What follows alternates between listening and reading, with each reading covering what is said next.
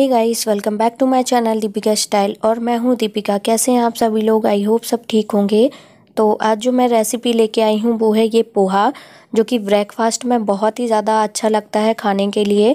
सभी मोस्टली पोहा बना के ही खाते होंगे ब्रेकफास्ट में। आप ही बताइएगा कि आप ब्रेकफास्ट में क्या खाते हैं। तो यहाँ पे पोहा मोस्टली सभी को बनाना आता है, पर सबकी रेसिपीज़ अलग होती हैं कि कौन किस तरह से बनाता है। तो मैं जिस तरीके से बनाती हूँ तो मैंने सोचा आप लोग के साथ ये वीडियो ज़रूर शेयर करूँ। तो वीडियो एंड तक ज़रूर देखिएगा। आई होप आपके लिए ये हेल्पफुल रहे। तो चलिए फिर शुरू करते हैं वीडियो। अगर मेरे चैनल को आपने सब्सक्राइब नहीं किया है तो सबसे पहले सब्सक्राइब करिएगा। बेल आइकन को प्रेस कर दीजिएगा, ताकि जब भी मैं न्यू वीडियो अपलोड करूँ तो सबसे पहले नोटिफिकेशन आपको मिले। तो सबसे पहले मैंने यहाँ पे पोहे एक बाउल में निकाल के रखे हुए हैं और इनको अच्छे से पानी से हम वॉश कर लेते हैं। दो से तीन बार मीन्स इनको सॉफ्ट कर लेते हैं पोहा को, तभी हम बना पाएँगे। तो चलिए फिर आगे की तैयारी देखते हैं कि हमें किन चीज़ों की ज़रूरत है। तो पोहा बनाने के लिए मैंने यहाँ पर कुछ सामग्री ली है। तो सबसे पहले मैंने यहाँ पे मटर लिया है। तो मटर, ये फ्रोज़न मटर है। आपके पास अगर फ्रेश मटर है तो वो ले सकते हैं। नेक्स्ट मैंने यहाँ पे एक मीडियम साइज़ के आलू लिया है। और छोटे टुकड़ों में आलूओं को काट लिया है। नेक्स्ट मैंने यहाँ पे एक मीडियम साइज़ की प्याज ली है, जिसको लंबा लंबा चॉप किया है। नेक्स्ट यहाँ पे ग्रीन चिली है, आठ से दस। तो पोहा थोड़ा सा तीखा खाना ही अच्छा लगता है। तो ग्रीन चिली आप अपने अकॉर्डिंग ले सकते हैं। नेक्स्ट यहाँ पे करी पत्ते हैं, आठ से दस। नेक्स्ट यहाँ पे सरसों दाना है, एक चम्मच रिफाइंड ऑयल है। यहाँ पे आधा चम्मच हल्दी पाउडर है। नेक्स्ट यहाँ पे एक चम्मच सौंफ है। और यहाँ पे लास्ट में नींबू है डालने के लिए ऊपर से। ये बारीक सेव है और बारीक कटी हुई प्याज है। ये सब मैं पोहा जब बन जाएगा, उसके बाद डालूँगी। आप इसको स्किप भी कर सकते हैं और ऐड भी कर सकते हैं। तो गैस पे कढ़ाई चढ़ा दी है। गैस की फ्लेम को मीडियम रखा है और इसमें जो ऑयल लिया था, दो चम्मच उसको डाल दिया है। ऑयल गर्म हो चुका है। इसमें मैंने एक चम्मच जो सरसों दाना लिया था, वो डाल दिया है। एक चम्मच सौंफ ली थी, उसको भी ऐड कर दिया है। करी पत्ते भी ऐड कर दिए हैं। इसको हम थोड़ा सा भून लेते हैं पहले ताकि सरसों दाना और जो सौंफ डाली है वो अच्छे से भुन जाए।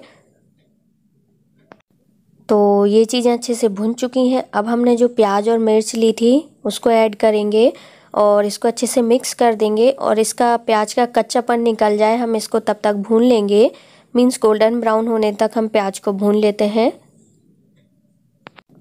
तो यहाँ पे प्याज हल्का गुलाबी हो चुका है, हल्का भुन चुका है। अब हम इसमें जो आलू छोटे छोटे पीस काट के रखे हुए थे, उनको ऐड करेंगे। तो इन सभी चीज़ों को हम अच्छे से मिक्स करते हुए भून लेते हैं। तो सारी चीज़ें अच्छे से भुन चुकी हैं।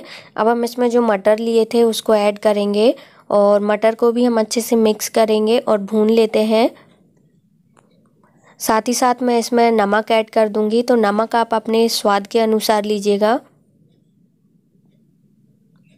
नमक ऐड करने के बाद हम इसको अच्छे से मिक्स कर देते हैं और एक मिनट के लिए हम इसको भून लेते हैं फिर से। तो अभी सारी चीज़ें अच्छे से भुन चुकी हैं। अब हम इसमें डालेंगे हल्दी पाउडर। तो हल्दी पाउडर डालने के बाद अच्छे से मिक्स करेंगे।